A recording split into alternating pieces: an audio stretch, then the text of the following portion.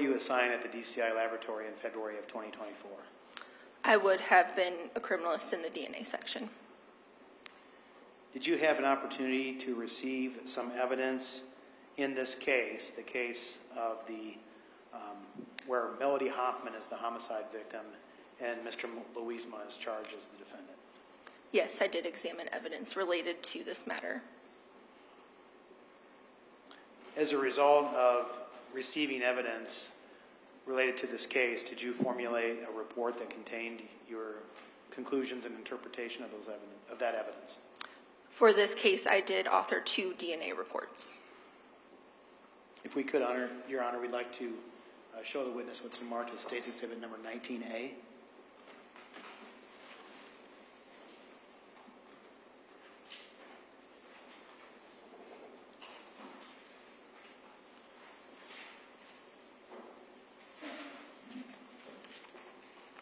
You see that in front of you, Karlee? Yes. What is State's Exhibit Number 19A? State's Exhibit 19A appears to be a copy of one of the DNA reports issued in this case. And how many pages is that uh, DNA report you're referring to? For this DNA, it's um, identified as report number two. It is a total of seven pages.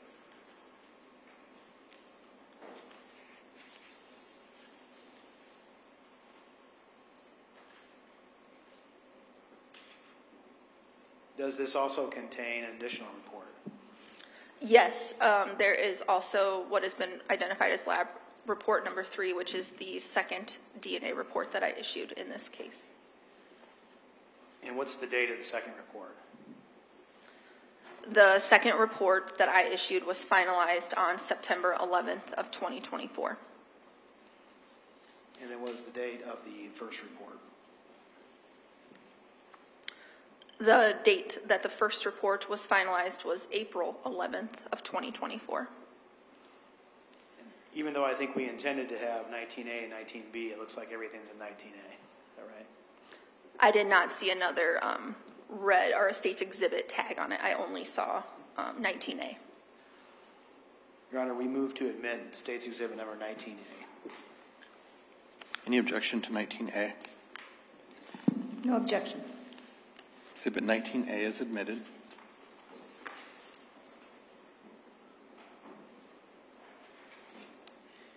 And we'd like to publish that when um, we get the opportunity, Your Honor. 19A is published. So Karlee, I think uh, the easy, the easiest way to do this is just to go through this report, and you're gonna, I'm gonna ask you some questions, you're gonna tell us about what we're seeing on your report, okay? Okay. All right. And this report may reference some items that um, we haven't seen pictures yet here, but um, it's our understanding here that you can't come back tomorrow, right? Correct. So we got to get you in today. Okay. So we'll just go ahead and start here. Um, This says lab case number on it and a report date. So is this the first report that you, um, you compiled and um, formulated in this case? Yes. And it looks like it refers to your agency, and then who's the case officer in this report? It is listed as Special Agent Ryan Kedley. And does he also work for the DCI? Yes. And then as far as subjects here, we have McKinley Louisma and Dakota Lyle Van Patten. Is that your understanding that those are the the suspects or defendants in this analysis? From my understanding, yes. Those, um, that information is filled out by the submitting agency prior to submitting, so that's not something that I, um, that I decided or I put on the report. And then the victim in this case is known as Melody Hoffman, is that right? Yes. Okay, going to the first uh, entry here, we'll say, uh, items as described by submitting agency. Um, On February 20th, 2024, the following items were submitted to, who's Noah E- Eelnant? He is one of the individuals that works in the evidence room at the crime lab. So would he have been the one who received the items from law enforcement and then um, began the process of going through that protocol to um, collect and preserve the items for your later analysis? Yes, for the items that are listed underneath, um, it looks like laboratory items three through 10, uh, he is the individual that received them in the evidence room. And in this instance, laboratory items number three through 10 um, are the same as the agency number. Is that right? Yes, And does that indicate, um, at least based on your understanding, that the agency that submitted these items was also the DCI? from my understanding, that is the, uh, what happened in these items. And what items were submitted? Laboratory and agency item number three was a box containing two swabs of red stain from the trunk lid of the Honda. Lab and agency item number four was two sets of Ozark Trail gloves with red stains. Laboratory and agency items five was a pink shirt with red stains and duct tape from the trunk of the Honda. Laboratory and agency items six was hair stuck to duct tape from trunk of Honda. Lab and agency items number seven was green paracord from trunk of Honda. Agency and lab items number eight was a pocket knife with red stains from Honda. Laboratory and agency items nine was a box containing swabs from McKinley Louisma. And lab and agency items 10 were paper fold containing fingernail scrapings from McKinley Louisma. Did you find when you uh, ultimately received these items for analysis that these were fairly adequate descriptions of the items that you uh, examined? Yes, Okay. And then on February 22nd, 2024, it looks like some more items were submitted to Brandy Lane. Is she also an evidence tech at DCI Lab? yes, she is. Okay, what items were submitted on February 22nd? Laboratory item 11 is agency item 1 was a item containing right fingernail clippings collected at time of autopsy. Laboratory item 12, agency item 2 was an item containing left fingernail clippings collected at time of autopsy. Laboratory item 13, agency item 3 was sealed sex assault kit bearing the name of Melody Hoffman taken at the time of autopsy exam. Laboratory item 14, agency item 4 was underwear of the victim. Laboratory item 15, agency item 5 was a blood standard card taken at time of autopsy exam. And did these descriptions also um, adequately represent the items that you examined? Yes, And then finally, on March 7th of 2024, it looks like uh, some more items were submitted, this time to Melissa Ozamek. Is she also a lab tech at DCI Lab? yes, she works in the evidence room as well. And what was submitted on March 7th of 2024? Laboratory item 16, agency item 4 was a swab from unknown flaky yellow substance at Morgan Creek Park. Laboratory item 17, agency item 5 was swabs of unknown dried fluid on parking lot at Morgan Creek Park. Laboratory item 18, agency item 6 was swab from unknown amber substance north of picnic table. Lab item 19, agency item 7 was a swab of unknown substance from south of picnic table. Laboratory item 20, agency item 9 was clear frame, framed glasses. Laboratory item 21, agency item 10 was gray Nike shoes. Laboratory item 22, agency item 11 was gray sweatpants. Laboratory item 23, agency item 18 was forest green Under Armour sweatshirt. Laboratory item 24, agency item 34 was pink Hey Dude shoes. Laboratory item 25, agency item 35 was black capri pants. Laboratory item 26, agency item 42 was a multicolor cell phone case. Laboratory item 28, agency item 52 was a black beanie. Lab number 29, agency number 56 was Van Patten buccal swab. And then on March 7th of 2024, it says the following items were submitted again to Melissa Ozimek at the DCI lab. What was submitted on that date? That was laboratory item 30, agency item 67, known swabs, Logan Kimpton. And it looks like with some of these later items here, there was a different lab number than an agency number. Does that indicate to you that um, those items that don't have the same number were submitted by an outside agency like the Marion Police Department?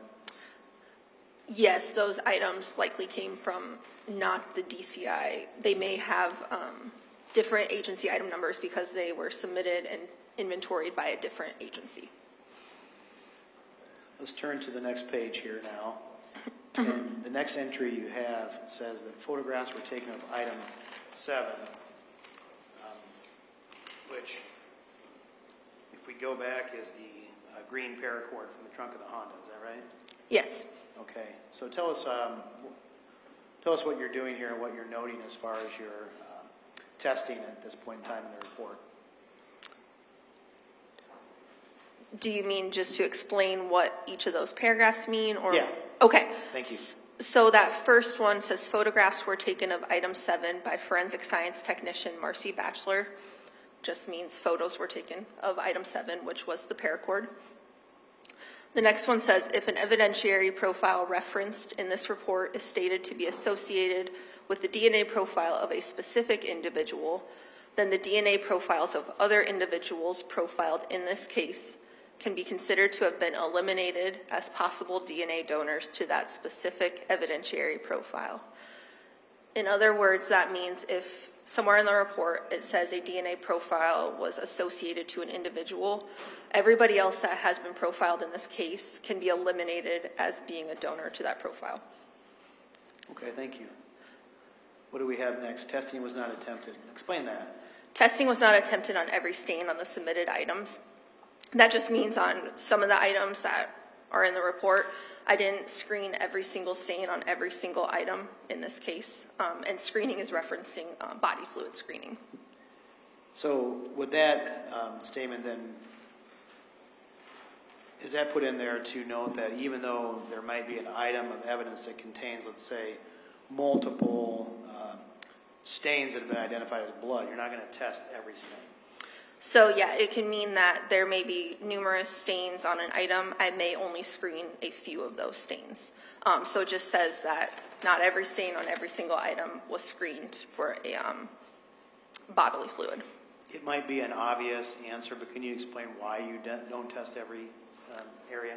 Um, if an item has, um, for instance, if it has just one area, maybe of red-brown staining, I will screen that area.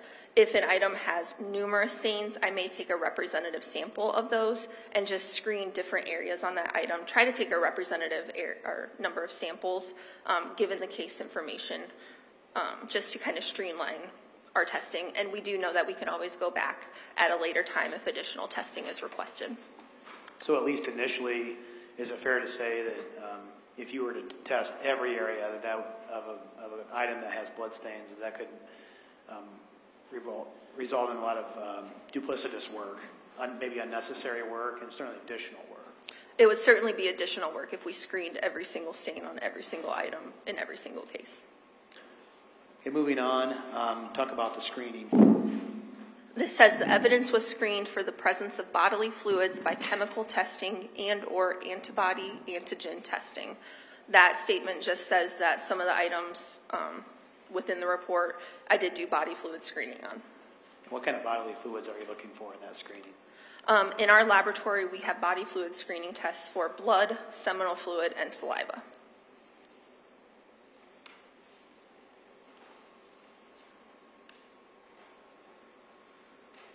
Talk about the differential extraction procedure for stains containing seminal fluid.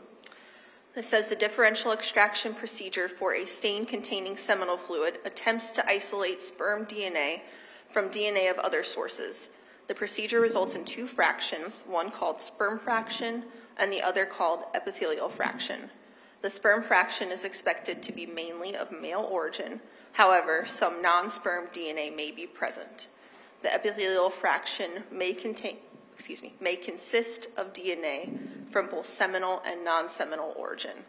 So this statement just explains um, in items that may contain seminal fluid, we do a different type of extraction procedure where we attempt to separate the sperm fraction from the epithelial fraction or non-sperm fraction. So just kind of explaining that process and to say that a differential extraction was performed in this case. So basically, if you do find the presence of seminal fluid on, as a result of this screening, then you're going to extract from that seminal fluid what you can find in terms of the sperm, what you can identify as a sperm fraction, and then separate that from epithelial, which is more like skin cells. Sure, so screen, we will do screening tests. Depending on our screening test, we may still do the differential extraction even if it's negative for seminal fluid. And then moving on, we will do a differential extraction on a sample in attempts to separate any sperm DNA from non-sperm DNA. Finally, the evidence was processed for DNA typing by capillary electrophoresis. Tell us about that. So that's, again, saying evidence was processed for DNA typing by capillary electrophoresis using the Applied Biosystems GlobalFiler PCR amplification kit. That just says that items of evidence in this case were processed through the DNA workflow, and this is the type of testing that we use in our laboratory. PCR testing. Correct. Can you give us uh, a general version of what PCR testing involves? Yes, PCR stands for polymerase chain reaction. Um, this particular one's talking about amplification, which is a step of the DNA process where we make millions and millions of copies of the DNA. And then in that PCR process, those that this kit contains the areas of DNA that we're testing in our laboratory. So we don't test everybody's, all their DNA. We target specific areas um, of the DNA. And that is just explaining the kit that we use and the process we use to get there. So this amplification, you make millions of copies of DNA that you find. What, in order to be able to see it better? So what that amplification does is it makes millions of copies, and therefore the next part, the capillary electrophoresis, it is separating the DNA based on its size. So in the end, we get a DNA profile, which is just a visual representation of the areas of DNA that we test. So when you're able to get a profile, does that then aid you in the ability to um, compare what you do find to a known profile? Yes, so we will examine all of our evidentiary profiles. We will determine if they are interpretable. It may be the whole profile is interpretable or just a portion of it. And then if it is interpretable, we will do the interpretation and then compare to any known reference samples submitted in the case. And what that allows us to do is to say whether um, a person that was uh, profiled in the case could be included or possibly excluded as a contributor to a specific evidentiary profile that is developed. Okay. And we might get back to, to that as it relates to your findings, but let's start with uh, your findings here and the results of your examination. It starts with nine, which is uh, noted in your description as a box containing two swabs from McKinley Louisma. What did you find when you examined the box containing two swabs from McKinley Louisma? So for, it says DNA profiles were developed from the known buccal samples of McKinley Louisma. He is laboratory item number, that is laboratory item number nine. And then you also examined laboratory item number 29 and 30, which are indicated to be the Van Patten buccal swab and the Logan Kimpton buccal swab. Correct, so DNA profiles were developed from the known buccal samples of Dakota Van Patten and Logan Kimpton as well. So this gives you that known pro- profile of these individuals to compare to your findings, right? Yes, for those three individuals. Now, the next thing you examined was uh, lab number 15, which is a blood standard card taken at the time of the autopsy exam of Melody Hoffman. What did you find as a result of that? A DNA profile was developed from the known blood sample of Melody Hoffman. And so now you have a known sample of Melody to compare to your findings. Correct. Okay. So the next thing we, we have here is, is number three, which is a box containing two swabs of the red stain from the trunk lid of the Honda. What did you find there? Excuse me. Screening indicated the presence of blood on the swabs from the Honda trunk lid. The DNA profile developed matched the known DNA profile of Melody Hoffman. The probability of finding this profile in a population of unrelated individuals chosen at random would be less than 1 out of 21 nonillion.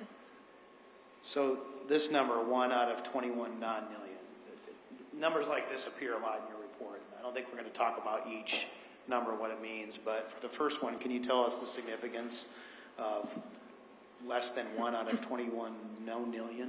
So that um, portion, that sentence about the statistic, what that does is it gives an estimate to the rarity of the profile.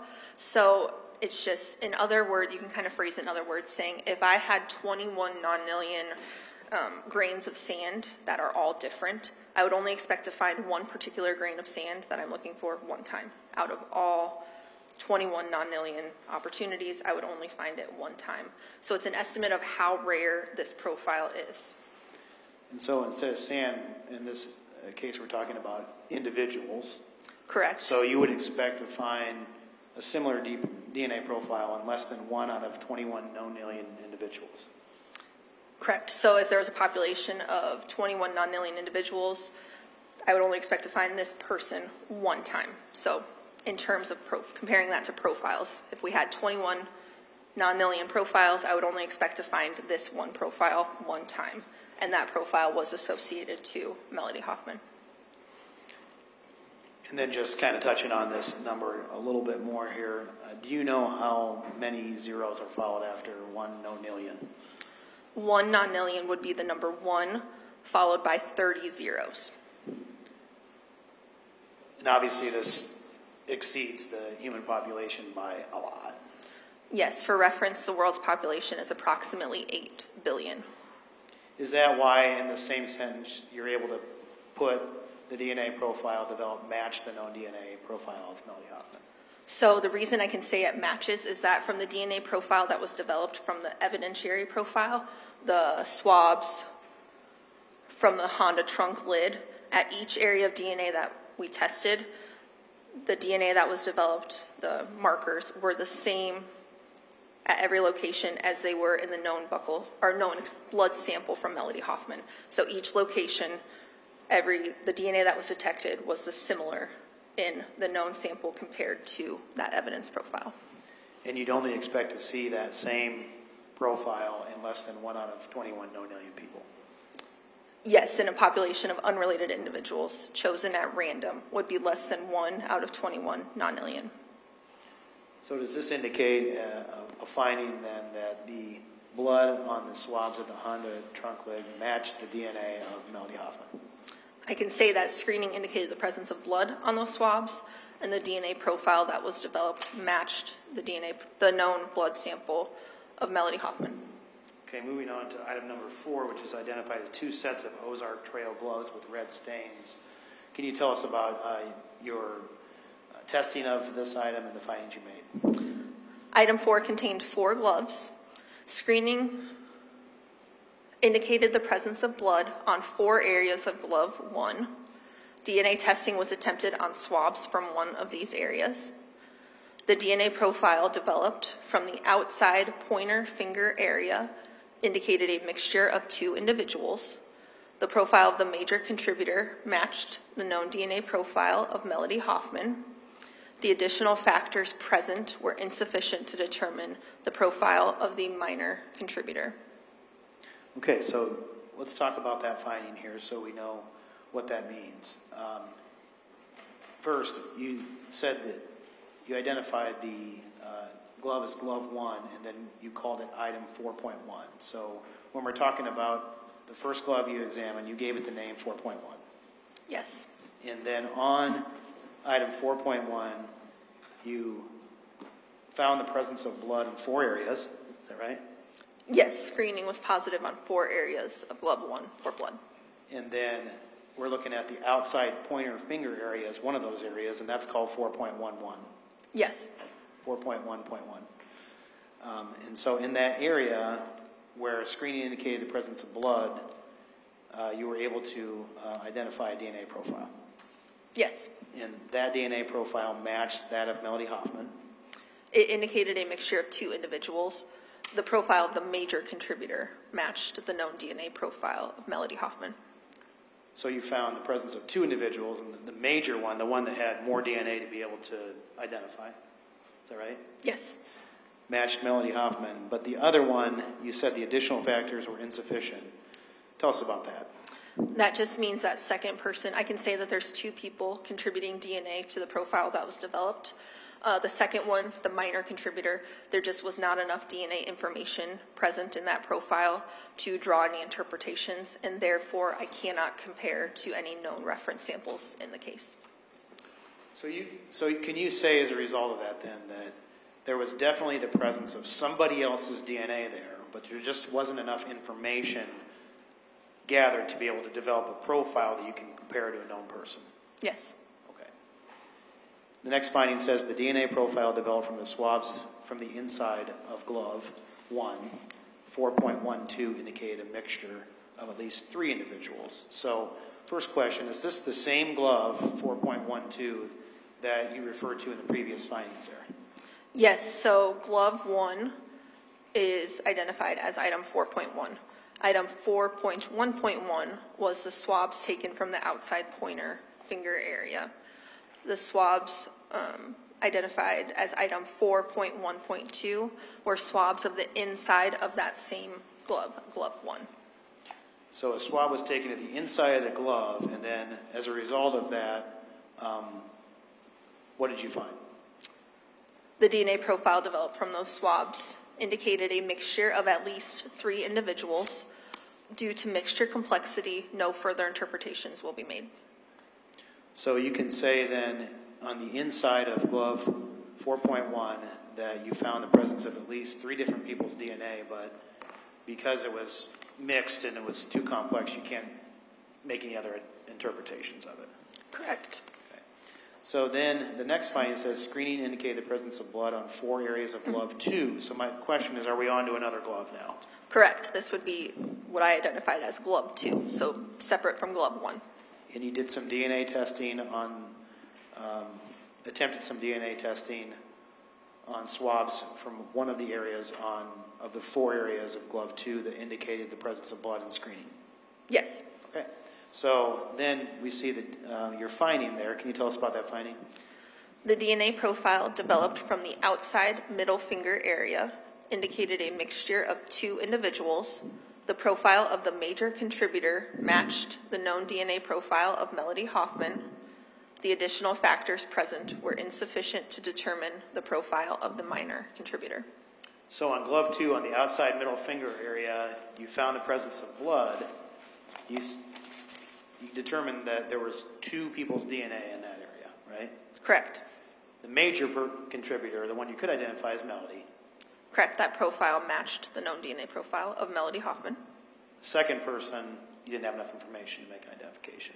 Correct. But there was definitely somebody else's DNA there. Yes, that profile indicated indicated a mixture of two individuals. The last finding on this page was, I think that's the additional factors were insufficient to determine. That's what you're talking about, that you couldn't make an identification of the minor contributor. Correct. All right, we'll go on to page three here. And we're still, it looks like we're still talking about what we were talking about before as far as items, the gloves, but now we're moving on to the inside of that glove. Yes, now we're on inside of glove two. Tell us about your findings from the inside of the glove. The DNA profile developed from the swabs from the inside of glove two indicated a mixture of three individuals. The profile of the major contributor matched the known DNA profile of Dakota Van Patten. The probability of finding this profile in a population of unrelated individuals chosen at random would be less than 1 out of 69 septillion. The additional factors present were insufficient to determine the profiles of the additional contributors. Okay, so you took, there was a swab that was taken from the inside of this glove too. And was this the same glove where they're, uh, the testing on the um, outside middle finger uh, indicated the presence of Melody Hoffman's DNA in an area that screened positive for blood? Yes, Okay. And the inside of that glove, then, the swab taken of there, you were able to find, was it three different individuals in there? yes, that profile indicated a mixture of three individuals. The major contributor you were able to actually develop a profile of, and that uh, matched the known profile of Dakota Van Patten. Yes, And we have a different number here, one out of 69 septillion, but that still exceeds the human population, right? yes, I don't think we need to go back into that. But, Um, And then, as far as the other two individuals' DNA found in the inside of the glove, you just didn't have enough information to make a a profile comparison, but there's definitely two other people's DNA in there. Yes, so there was a mixture of three individuals. That major contributor was determined, and then the rest of the DNA information I could not interpret and therefore can't do any comparisons. So we have a third glove, Yes, okay, and you identify that as item 4.3. correct. You did some DNA testing um, on some swabs of some areas um, on glove three. Can you tell us about that DNA testing and, and the results? The DNA profile developed from the outside ring finger area indicated a mixture of three individuals. The profile of the major contributor matched the known DNA profile of Melody Hoffman. The additional factors present were insufficient to determine the profiles of the additional contributors. So we're, on glove three, we're on the outside ring finger area, and there's an area that's screened positive for blood. And in that area, you were able to find the major contributor's DNA was Melody, right? Yes, And you have two other people's DNA in there, but you just don't have enough information to identify. correct. Sometimes people think that if somebody touches something, that necessarily their DNA is going to end up on it and be able to be identified. Is that not always the case? Not always. And why is that? Um, there's many factors that go into whether or not we can interpret a profile, um, and there's many factors that go into um, how much DNA may be on an item. What are some of those factors? Um, factors for the item itself could be that if an item has been laundered, if an item has been left in heat or humidity or sunlight, those are all things that can damage DNA. There are other factors too. And then um, even if somebody touches something, that doesn't always mean that you're going to leave behind detectable DNA. Um, there also could be multiple people touching an item that can all convolute um, the profile that's developed from a particular area. Is it uncommon in your experience as a DNA forensic examiner to be involved in a case where somebody may have even admitted to touching something, but you still can't find a DNA profile to compare to them?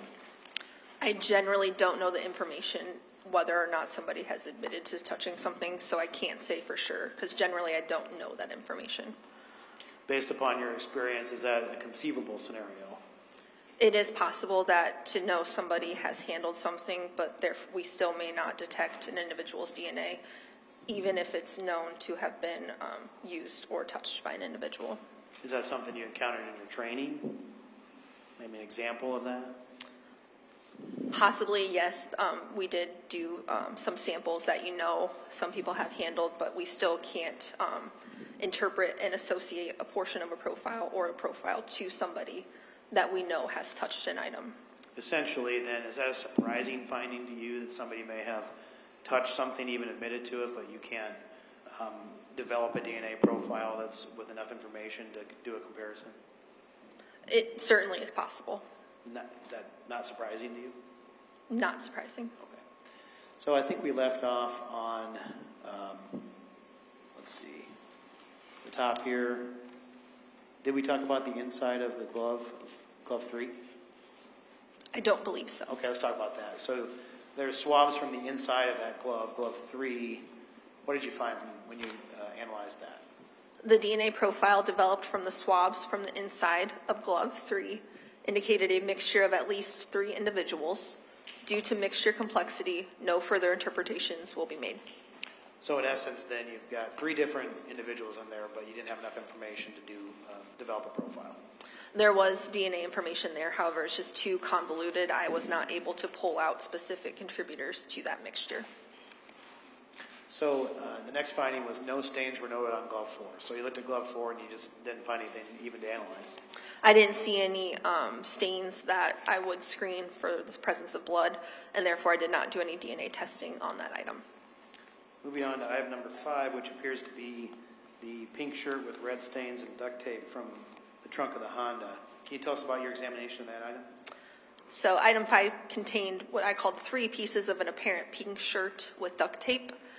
No examinations were performed on the apparent hairs on the pieces of the shirt. Screening did not indicate the presence of blood on one area on one piece of the shirt. Screening indicated the presence of blood on five different areas of the same piece of the shirt. DNA testing was attempted on a cutting from the wrist cuff below the tape of that piece of shirt. Okay, so now we have an item that you've described as five point one point one. Is that the cutting from the wrist cuff below where the duct tape was on this pink shirt? Yes, so I identified the three pieces of the shirt as items 5.1, 5.2, and 5.3. So item 5.1.1 is the cutting from the wrist cuff below the piece of tape on that first piece of the shirt. In that first area, five point one point one, what did you find? The DNA profile developed indicated a mixture of at least three individuals that was too weak and too complex for conclusive interpretation. Okay, and we've talked about what that finding means, so we don't need to go back over that, I don't think. Um, Let's go on to the next finding. Screening indicated the presence of blood on three areas on a separate piece of the shirt. DNA testing was attempted on a cutting from the stained area above the tape, which was the apparent back armpit area. The DNA profile developed matched the known DNA profile of Melody Hoffman. So on this pink shirt, uh, in this area that you've identified that you cut from, the second area, 5.2.1, that's where you were able to find the DNA profile of Melody Hoffman. Yes, so this is from the second piece of the apparent shirt, a cutting from one of the stained areas on that piece of the shirt. Let's go on to the next finding then. I think, um, Screening did not indicate the presence of blood on one area of the remaining piece of the shirt. Screening indicated the presence of blood on three different areas of that same piece of the shirt. DNA testing was attempted on a cutting from the apparent outside back bottom. okay, so that you're talking, you're on the back of the shirt now where you cut this. Yes, what a, the apparent outside back bottom. And you called this area 5.3.1, Yes. okay, and what did you find there? The DNA profile developed matched the known DNA profile of Melody Hoffman. Okay, so then moving on to page four of the report, and we're on item number six now, which is the hair stuck to the duct tape from the trunk of the Honda. What did you do with uh, that item? Item six contained duct tape with numerous apparent hairs. Screening indicated the presence of blood on the swabs taken from two areas of the duct tape. The DNA profile developed from the swab taken from a stained area on the smooth side of the tape indicated a mixture of two individuals. The profile of the major contributor matched the known DNA profile of Melody Hoffman, the additional factors present were insufficient to determine the profile of the minor contributor. The DNA profile developed from the swab from a stained area on the sticky side of a tape end indicated a mixture of three individuals. The profile of the major contributor matched the known DNA profile of Melody Hoffman. The additional factors present were insufficient to determine the profiles of the additional contributors. So on this particular piece of duct tape with the numerous hairs, on the smooth side of the tape, you were able to identify as the major contributor Melody Hoffman's DNA, um, but not the other person's DNA on the smooth side. Yes. And then on the sticky side, there's three people, but you were only able to identify one as uh, Melody because she was the major contributor. Yes, it was a mixture of three individuals. The major profile or major contributor matched the known DNA profile Melody Hoffman. The additional factors detected were, um, it was insufficient for comparison. Moving on um, to your examination of five hairs there. Uh, Tell us about that examination. Five hairs were microscopically evaluated, and the root ends of all five of those hairs were found to be suitable for nuclear DNA testing. The five hairs were sampled for DNA analysis. The DNA profile developed from the cuttings of the root portions of those hairs matched the known DNA profile of Melody Hoffman. And so when you examined these hairs, then you found uh, the presence of Melanie's, uh, Melody's DNA within the root portions of the hair. Yes, so I sampled the root portions of those five hairs, and the profile that was developed from um, those hair roots matched the known DNA profile of Melody Hoffman.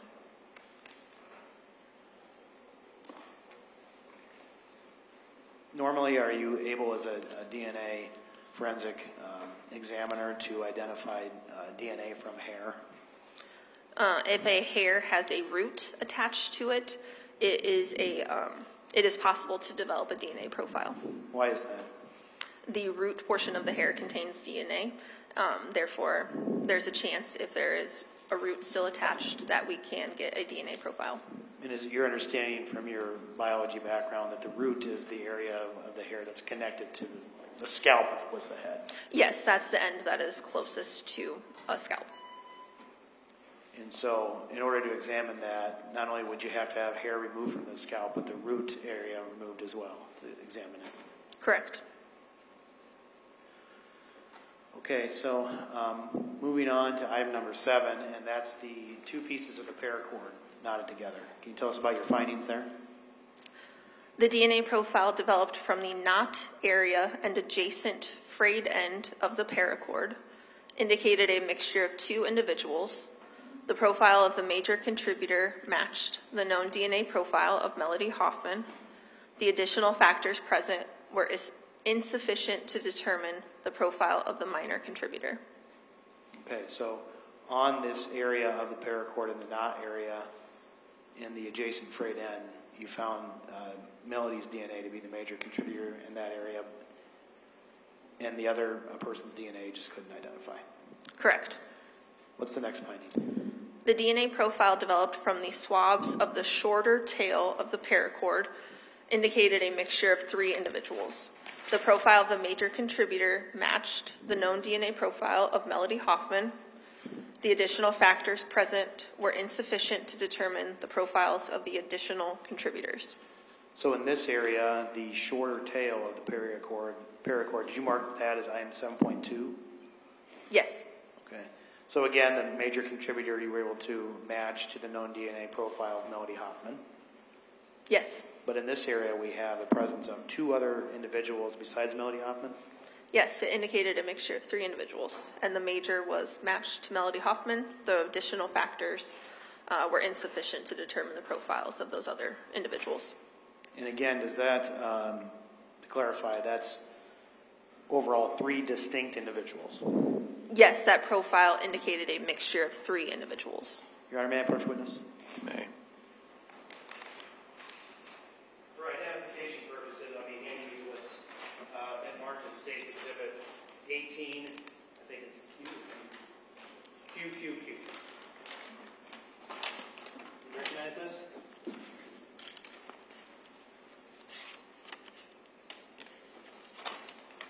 Yes, I do. Okay. And what does this contain to your knowledge? Um, that is the bag that contained the green paracord that was submitted for testing. Item number seven up here. Correct, that has laboratory item number seven.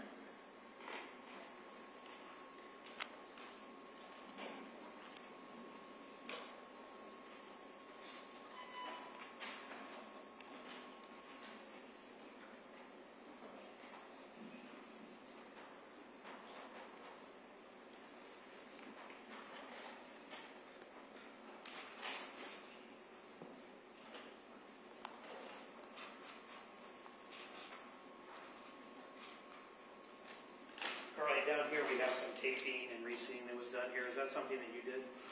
Yes, I can see the evidence tape down here on the bottom edges. It has my date and my, uh, my date, excuse me, my initials and dates on the evidence tape seal. So this indicates that you accessed this um, and, and then resealed it?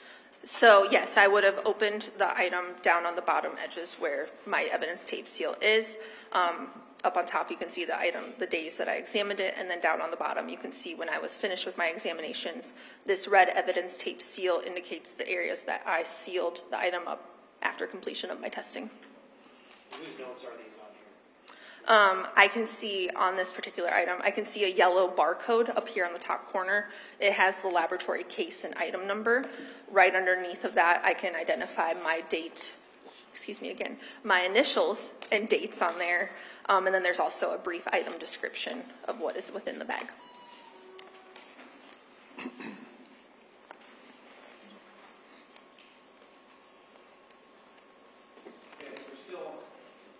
We're still, on item number seven here. Um, We had talked about the second finding, I think we were down to screening did not indicate the presence of blood on swabs involving the long tails of the paracord. Can you tell us about that finding? Screening did not indicate the presence of blood on the swabs of the unstained portions of the long tails of the paracord. The DNA profile developed indicated a mixture of two individuals. The profile of the major contributor matched the known DNA profile of Melody Hoffman. The additional factors present were insufficient to determine the profile of the minor contributor.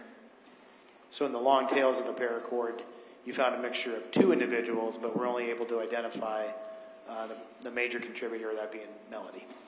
Yes, that would be the unstained portions, the apparent unstained portions of those long tails of the paracord. Okay, got it. Moving on to the next finding, I think we're still talking about the paracord. Can you talk about that? Screening indicated the presence of blood on one area of the paracord. The DNA profile developed from the swabs of the stained portion of the paracord indicated a mixture of two individuals. The profile of the major contributor matched the known DNA profile of Melody Hoffman. The additional factors present were insufficient to determine the profile of the minor contributor. So in this area where blood was found on the paracord, that's where you were able to identify two individuals, but the profile of the major contributor was Melody, the other one not able to identify. Correct. Okay, now we're moving on to number eight, which is a knife. Pocket knife with red stains from the Honda, right? Yes.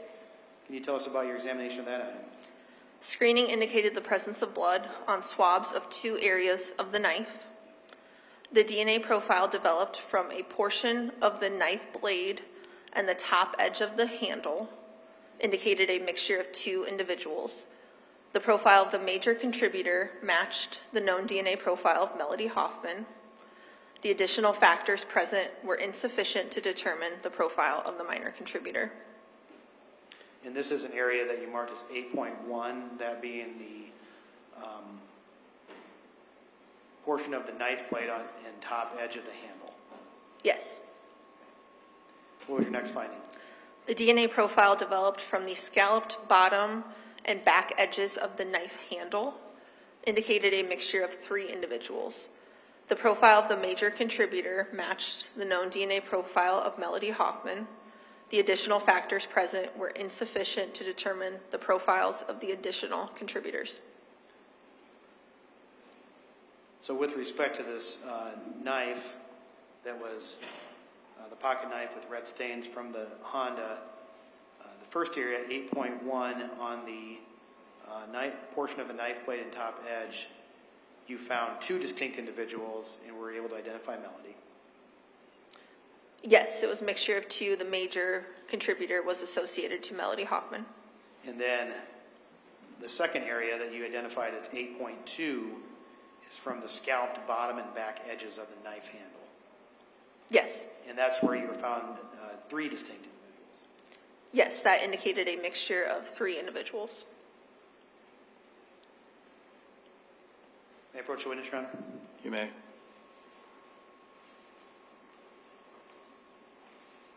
And the witness must be marked as State's Exhibit 18 EPP.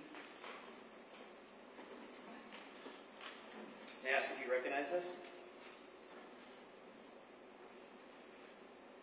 Yes, I do. Okay, and what is this? This is laboratory item number eight. Um, It has identification on there as pocket knife with red stains.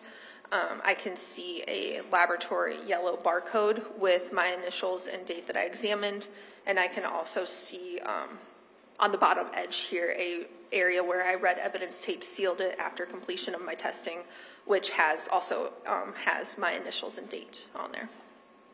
Is this uh, described as pocket knife with red stains from compartment under radio and Honda? That's what it says on there.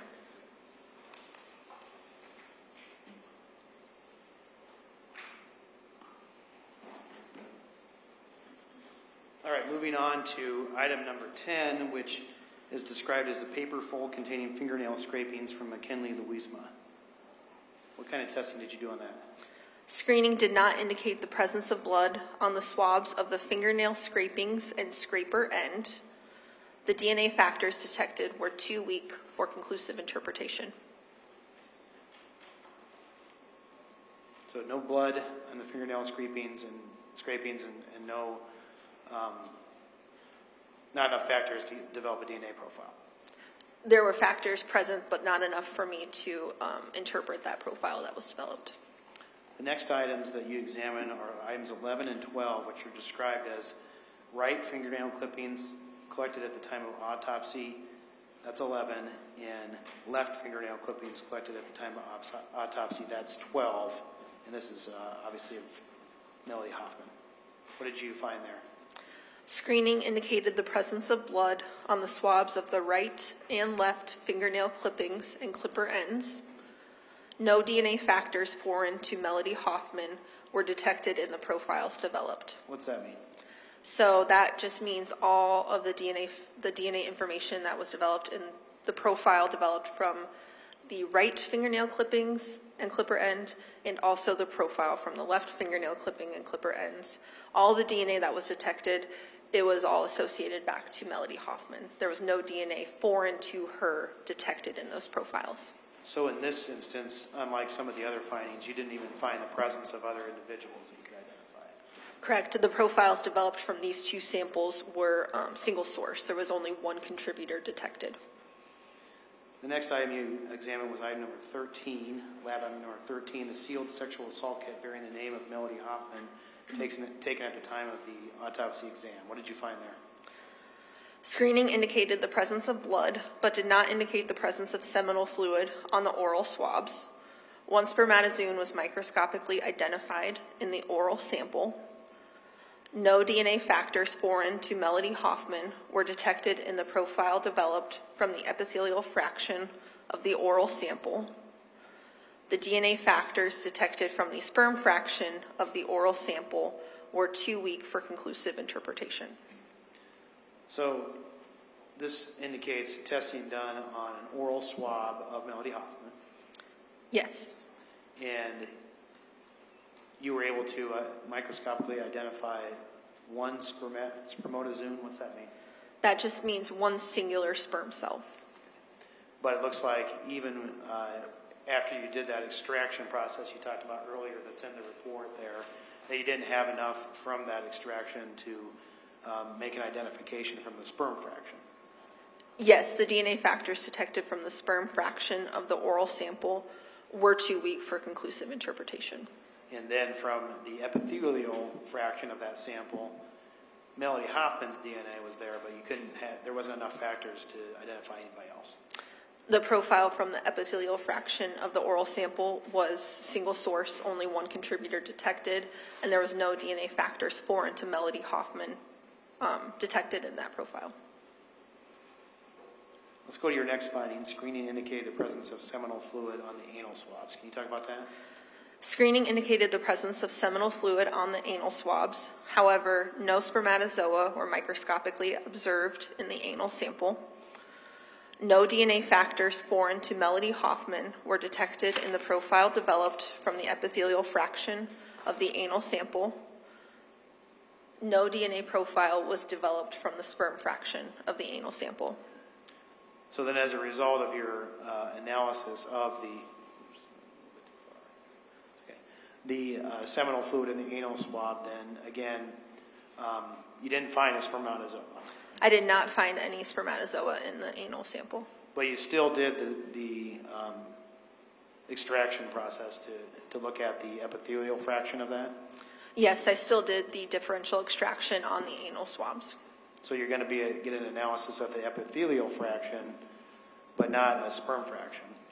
So I did um, the epithelial fraction, there was no factors foreign to Melody Hoffman detected. And then in that sperm fraction in the anal sample, there was no DNA profile developed. So there was no um, DNA factors detected in that profile.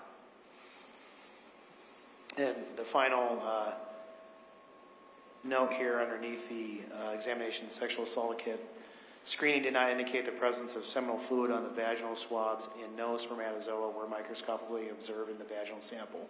Just, what does that mean?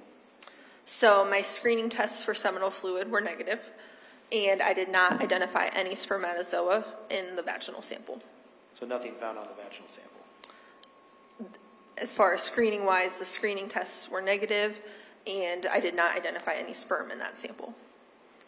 Are you able to tell from, well, I guess this is, this continues on to the next page here. Um, No DNA factors foreign to Melody Hoffman was detected in the epithelial. And again, DNA factors detected from the sperm fraction. So I guess explain that because if you didn't have the presence of seminal fluid, then you still did an extraction process? Maybe I'm not reading that right. So the screening tests were negative for seminal fluid on the vaginal sample. I still did the differential extraction procedure, and therefore um, I made a microscopic slide, and I did not identify any spermatozoa on the slide that was created or um, the slide um, of the vaginal sample. The epithelial fraction um, profile it was single source, and no DNA factors foreign to Melody Hoffman were detected from the epithelial fraction of that vaginal sample. And then that sperm fraction of the vaginal sample, there was factors detected, but they were just too weak. There's not enough information for me there to draw any conclusions from the DNA detected. The final note here on um, item number 13, the sexual assault kit, says no examinations were performed on the known uh, buccal or blood samples. So you had already gotten a DNA profile from the uh, blood stains from the autopsy, right? Yes, so within the sexual assault kit that was collected at autopsy, there was also buccal samples, or known buccal samples, and also a known blood sample. Separately, there was a laboratory item submitted with a different blood sample from Melody Hoffman. I simply just chose to take that blood sample as opposed to taking the ones that were in the sexual assault kit.